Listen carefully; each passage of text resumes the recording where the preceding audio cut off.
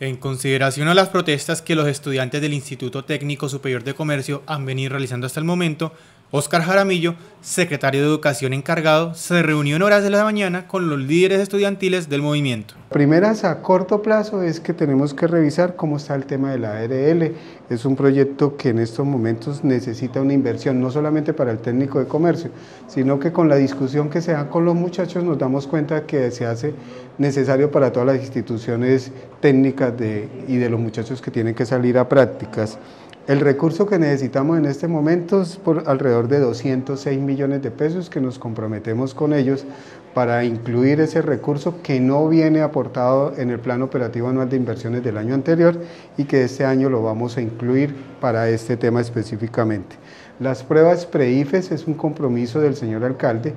de que se inicien lo antes posible, nos hacen falta 250 millones de pesos, vamos a incluir lo que tiene que ver con las pruebas pre-IFES para poder hacer la contratación e inicien lo antes posible. La reunión se enfocó en trabajar los principales puntos por los cuales aboga el estudiantado, desde el seguro estudiantil hasta la infraestructura de la institución. Hay otros temas que son de mediano plazo que tenemos que trabajar y tiene que ver con la infraestructura de la institución educativa, el coliseo y el comedor y algunas otras cosas que para esto sí dependemos de los estudios que entreguen la institución educativa para nosotros hacer el planteamiento presupuestal.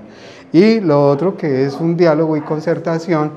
con las instituciones educativas entre el rector, la institución, los, los docentes, los padres de familia, para que se pueda llegar a diálogo y concertación con ellos. Ante esta información, la protesta de estudiantes ha comunicado que gracias a los puntos concretados se dará un retorno normal a clases. Pues de hecho teníamos, el objetivo principal era ser escuchados por este nuevo gobierno y lo logramos, de hecho ya quedamos en unos acuerdos los cuales nos dieron un plazo, se comprometieron a, ayudarnos a solucionar todas esas problemáticas y pues esperemos que todo salga de acuerdo a lo que se habló. Los estudiantes del Técnico Superior de Comercio estarán a la expectativa de que los resultados de la reunión se cumplan en lo más pronto posible.